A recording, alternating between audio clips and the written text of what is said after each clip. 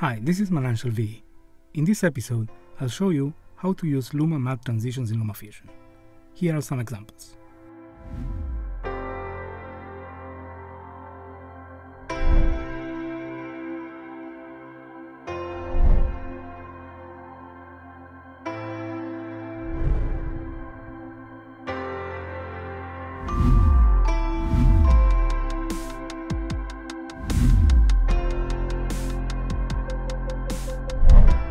Let's start by discussing how Luma matte transitions work, and right after that, I'll show you how to apply them in LumaFusion.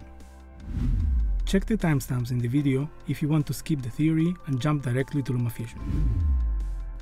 A Luma matte transition is a short black and white video that when applied to two videos, one on top of the other, determines which part of each of the two videos are shown based on the luminosity of the matte. Take for example this matte. Black represents the bottom video, which is the video you are transitioning from. White represents the top video, which is the video you are transitioning to. Here's how the Luma matte transition looks when applied in LumaFusion.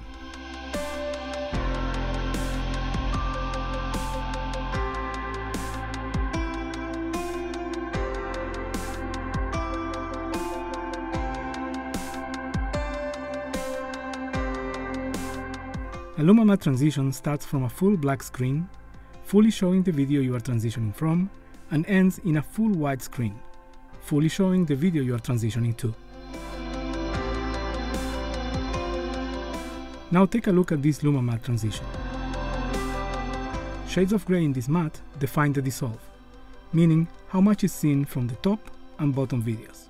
Darker grays define a dissolve that shows more of the video you are transitioning from and less of the video you are transitioning to. Lighter tones of gray work the other way around. Here's the transition in action.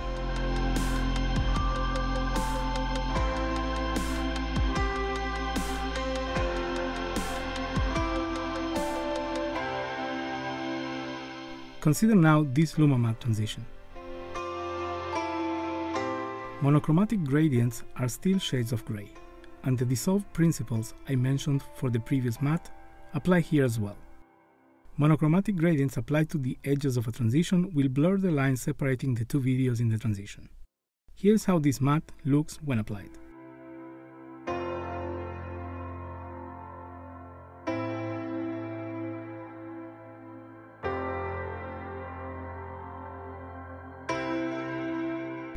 Luma matte transitions are easy to find you can download them from Storyblocks, YouTube, and other sources. They are also easy to create in LumaFusion, using titles animated with keyframes. Just remember to start with a full black screen and end with a full white screen. Here are some examples that I created myself.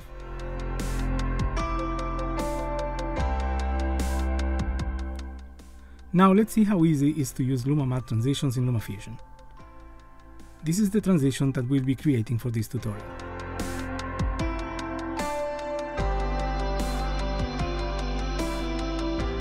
It is based on this matte.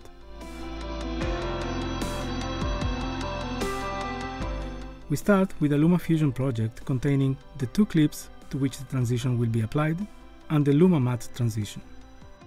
Place the matte above the first video clip aligned to its end. Edit the matte and change the blend mode to Silhouette Luma.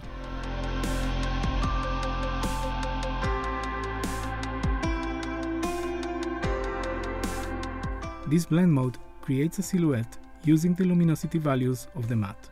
Brighter areas will show as a black silhouette, while darker areas will become semi-transparent or transparent, revealing the track below the matte.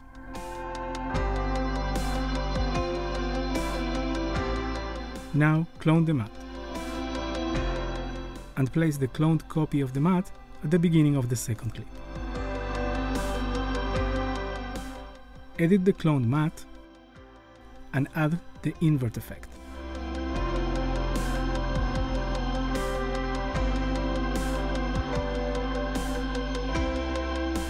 This is how it looks so far. As you can see, the first video is obscured towards the end, as defined by the matte. And the beginning of the second clip starts completely obscured and gets progressively revealed. With one matte being an inverted copy of the other, obscured areas in the two videos are mutually exclusive. Areas obscured on one video will be visible on the other, and vice versa. The same principle applies to the transparency defined by the shades of gray. For example, an area with 20% luminosity in one video will have 80% luminosity in the other. Now export the project.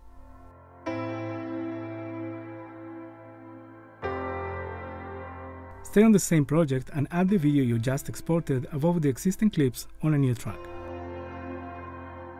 You can assign a color to the newly added clip so it's easier to identify in the next steps. This will be especially helpful if you are following this workflow for multiple transitions at the same time. Using the second track as guidance, isolate the area that contains the second matte transition in the newly added clip by cutting as shown.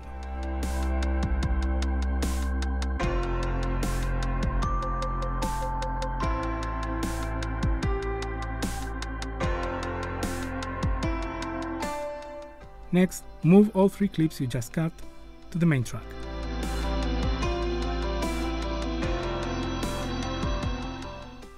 Move the clip in the middle containing the isolated matte just above the first clip and align it to the end, as shown. Edit the clip you just moved and change the blend mode to linear dodge.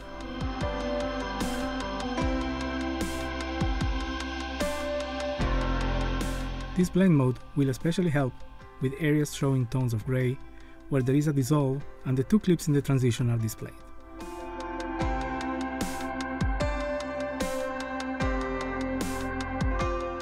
Exit back to the timeline. And we are done. Here's the end result.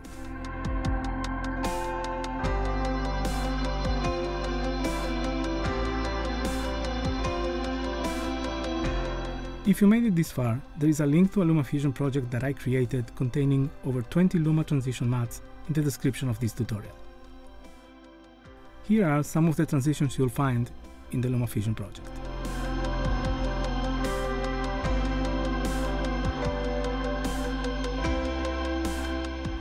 So this is it for this episode.